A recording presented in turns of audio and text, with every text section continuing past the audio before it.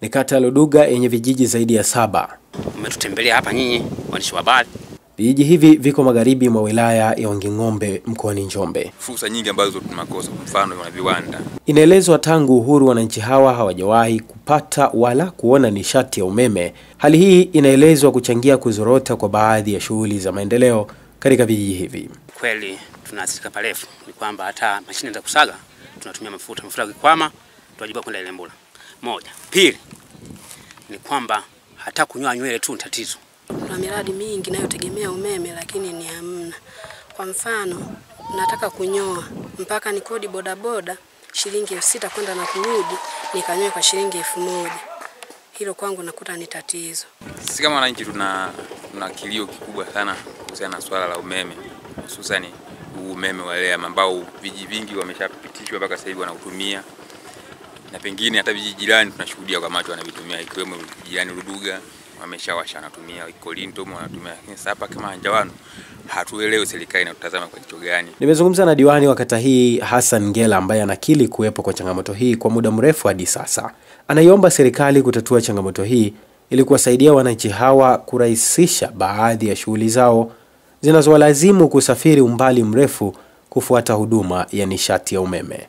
Changamoto kubwa sana kwa ajili ya maendeleo ya wananchi wa kawaida.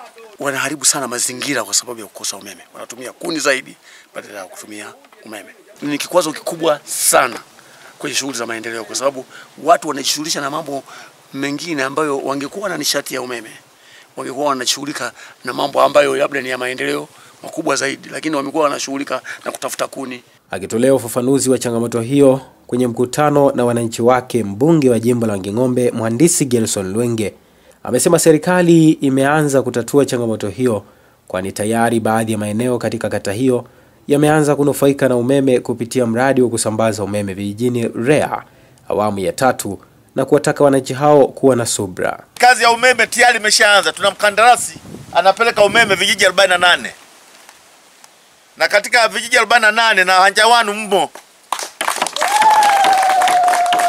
Awamu ya pili itakuja vijiji vingine kama Igando na vingine ambavyo haviko kwenye awamu ya kwanza, na hiyo kazi inaendelea.